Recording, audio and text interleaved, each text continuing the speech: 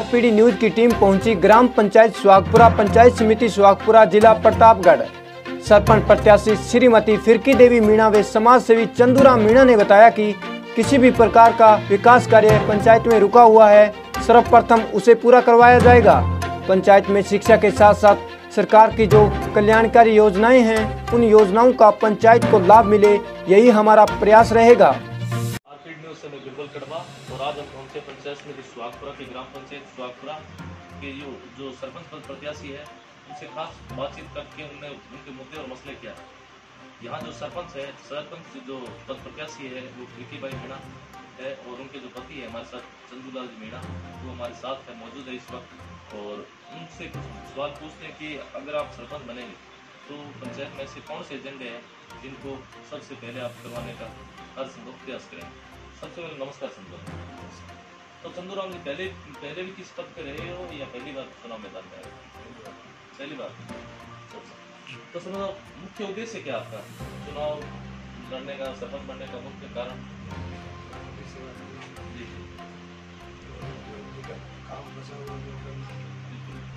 कुल मिला के ग्राम पंचायत के अंदर जो अधूरे काम है, उनका कह रहे हैं कि ज़्यादा से ज़्यादा विकास करवाने की बात करें समझो वर्तमान में संतुराम जी यहाँ अपने शिक्षा के स्तर के साथ स्वागत कराने और अगर आप सरपंच बनते हैं तो शिक्षा के लिए आपके क्या प्रयास रहेंगे जी जी। शिक्षा पे विशेष ध्यान देना। विशेष तौर से जैसे बालिका शिक्षा है उनके बारे में। बहुत अच्छी बात की कि बालिका शिक्षा है, उनके विशेष रूप से ध्यान दें। उनके जो सरपंच जो चंदूलाल जी है उनके जो साथी हैं जो कार्यकर्ता उनसे बातचीत करते हैं कि उनके क्या मुद्दे और एजेंडे रहे। सर नमस्कार। तो मतलब ये बताइए कि सर आप एक जो इस टाइम जो आप चुनाव प्रचार कर रहे हैं वर्तमान में तो सोशल डिस्टेंसिंग का किस प्रकार से पालन करवा रहे हैं? पूरी तरह से सरकार का जो उद्देश्य है उस उद्देश्य को लेकर पूरी पालना करने को हम तैयार बहुत अच्छी बात है कि कि जो सरकार की जो नियमावली गाइडलाइन है उनका पालन करेंगे उसी हिसाब से प्रचार प्रसार करेंगे। तो अब की बार जो मीणा है जो जो चुनाव मैदान में है आप उनके साथ में तो क्या उम्मीद और आशा लगे बैठे उम्मीद तो है सर कि अभी तक की जो पंचायत समिति जिला परिषद के जो कार्य इस शिवापुरा पंचायत में रहा लोगों को अभी तक पूर्ण रूप से कोई मिला जी जी। और जो केंद्र सरकार ने पीएम आवास सीएम आवास जो है उसमें सारी लिस्टें पेंडिंग पड़ी है। उन लोगों को अभी तक लाभ कोई पहुँच नहीं रहा है। वो लाभ पहुँचाने को हम तैयार हैं।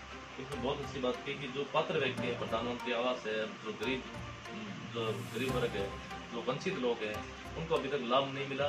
हम अगर सरपंच बनते हैं या हमारे जो जो प्रत्याशी है, सरपंच बन जाते हैं तो सबसे पहले हमारी ये प्राथमिकता रहेगी कि यहाँ ज़्यादा से ज़्यादा गरीब लोगों के मकान बने बुला दें। विशेष तौर से यहाँ खेती पे डिपेंड है लोग। खेती ज़्यादातर मजदूर वर्ग है। तो अगर आप सरपंच बन जाते हैं तो किसानों के लिए आप क्या करवाएँगे किसानों के लिए कोई कनेक्शन की बिजली। बिजली मिले उनको टाइम से आगे रह के उनको साथ देता बहुत अच्छी बात की बिजली कनेक्शन है क्योंकि कुओं साथ ही क्यों कुएँ हैं तो उसी हिसाब से क्योंकि यहाँ नहरी क्षेत्र है। तो उसी हिसाब से क्या है कि यहाँ विशेष तौर से बिजली की आवश्यकता पड़ती है। तो इनकी पहली प्राथमिकता है कि बिजली कनेक्शन करवाना किसानों की मुख्य जो मांग है उनको मैं पूरा कराऊँगा सबसे अपने क्षेत्र के अंदर विशेष तौर से बात करें करते हैं तो बाल है बहू है देश पढ़ना है लड़के बहुत देश पढ़ रहे हैं आज सभी पुराने सिस्टम से तो उन पे क्या क्या आप रोक लगवाएँगे? किस प्रकार से आप आपका प्रयास करेगा और जैसे सरकार के नियम के अनुसार पूरा संघर्ष करेंगे क्योंकि हमारा उद्देश्य है। कि समाज में जो कुरीता फैली हुई उसको मिटाने के लिए हम। बिल्कुल हर संभव प्रयास हर संभव प्रयास करेंगे समाज को एकत्रित करके पूरा ये प्रयास कर रहे हैं कि बहू बेटियाँ बहनें कहीं पढ़ रही हैं पढ़ती पढ़ती का नाते लेके कोई चला गया है तो जो सरकार का जो कानून बना है पूरे देश में उसको लेके हम पूरा प्रयास करेंगे और गाँवों में भी लोगों को एकत्रित करके यही कह रहे हैं जी। देश प्रथा को मिटाओ। बी बूटी जो फ़ोन पे बात करके ने इस तरह से शिक्षा में दखल अंदाज़ा कर रही कोई आज बच्ची चली जाती है। तो दूसरे मतलब हमारे परिवार के लोग आदिवासी जी, कहता है कि बच्ची को पढ़ाने भेजते हैं तो वन आते चली जाती है इस चीज़ को लेके हम पूरा संघर्ष कर रहे हैं। किया है और आगे तक करें। कुल मिला के जो जिस प्रकार की धारणा है कुल मिला के बच्चों को शिक्षा के प्रति ज़्यादा से ज़्यादा। बालिकाओं को शिक्षा के प्रति जोड़ना ये आपका मुख्य उद्देश्य जी सर। तो मतलब आज मृत्यु भोज भी ऐसे ही अब कई चीज़ हमने देखा है कि गरीब घर का है वो भी आज मृत्यु भोज करता है उनकी हालत आर्थिक स्थिति खराब हो जाती है तो उनके बारे में क्या कहेंगे? सर समाज में जो कंपटीशन हो रहा है इसको हम खत्म करना चाहते हैं। मृत्यु भोज तो सरकार ने बिल्कुल खत्म कर दिया था लेकिन समाज में कोई ऐसे दलाल भी आज चले हुए अरे तेरी इमेज खराब हो जाएगी और ते- तेरे माँ बाप को भी मरा। मृत्यु बोझ कर तो तेरी इज़्ज़त बढ़ जाएगी। लेकिन इसके विरोध में हम पूरा कदम उठा रहे मृत्यु बोझ रखने से आदमी का कोई वो इमेज बढ़ती नहीं है और कोई दान पुण्य नहीं लगता है। मरने के बाद चला जाता है।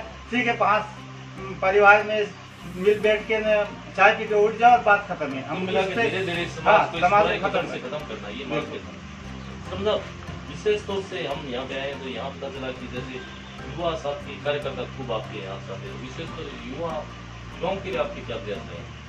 युवाओं में एक तो शिक्षा और आज सब लोग पढ़ लिख कर डिग्री लेके धरना प्रदर्शन करते नौकरी पे बैठना चाह रहे हैं। नौकरी सही है सरकार की लेकिन ऐसा हम भी नहीं मानते कि सरकार जितने पढ़ गए सबको तो नौकरी दे नहीं पाएगी। आप धंधा कीजिए टेक्निकल चीज़ें सीखिए मोबाइल है मशीनरी जो भी चीज़ें। जैसे आईटी बन रही कोई जाना नहीं चाहता है। सब डिग्री लेके मास्टर बनना चाहता है या बाबू बनना चाहता है तो हम कह रहे हैं कि आप इतने अच्छे पढ़ गए तो टेक्निकल चीज़ सीखिए।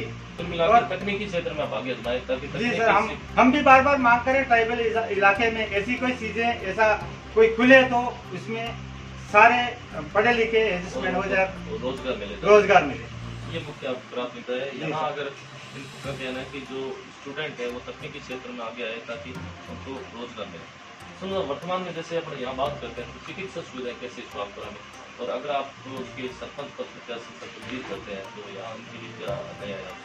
सर शिक्षा शिक्षा से- के बारे शिक्षा के बारे में तो अभी तक फ़िलहाल स्थिति बिगड़ी हुई है। कोई नेता ध्यान दे नहीं रहे जनप्रतिनिधि होता तो अपना खुद का निकाल लेते हैं। और हम अगर आ गए पद पे तो बिल्कुल जितनी पोस्टिंग है यहाँ है वो बिल्कुल लोगों की सेवा करेगा समय से आगे नौकरी करेगा। बहुत अच्छा।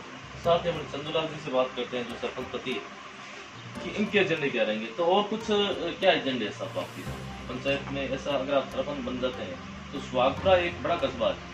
तो इसमें ऐसी कौन कौन सी मूलभूत सुविधाओं का विस्तार करवाओगे जिससे कि लोगों को आराम मिल सके? एक तो पानी की टंकी बनाएँगे। जी जी। और बाकी रोड लाइटें नहीं है यहाँ पे। वो भी लगवाएँगे जी। जो भी काम का बसन रहा है सब लिखे बहुत अच्छी बात की। ग्राम पंचायत में जैसे मुख्य सड़क मार्ग है बिजली है इसके अलावा पेयजल की जो सुविधा उनका समाधान करना है। सर बोलिए। स्वच्छ अभियान के तहत ये सुहाग पड़ गया। स्थिति ऐसी आप देखिए जैसे वो तारस बना हुआ। वहाँ की हालत देखिए वो कचरा पेटी डाल दिया। उसको फेंकने के लिए कोई सुविधा नहीं है। वो सड़ा गला कीड़े पड़ रहे नीचे गिर रहे हैं। कोई इस चीज़ को देख नहीं रहे। हमारा अभियान एक अभियान के तहत ये सारी चीज़ों को लेके जनता के साथ बिल्कुल न्यायप्रद काम करेंगे। कोई ग्राम पंचायत को साफ़ स्वच्छ बनाना ये भी इनकी प्राथमिकता है क्योंकि सुहागपुरा है सिटी टाइप का एक तरह से कस्बा आ गया उस हिसाब से यहाँ पंचायत को साफ़ सुथ बिल्कुल साफ़ सुथरी रखें ताकि क्या है कि आसपास की पंचायत में संदेश मिले कितना सुहागपुरा पंचायत धन्यवाद समझा आपने जो समय दिया उसके लिए बहुत बहुत धन्यवाद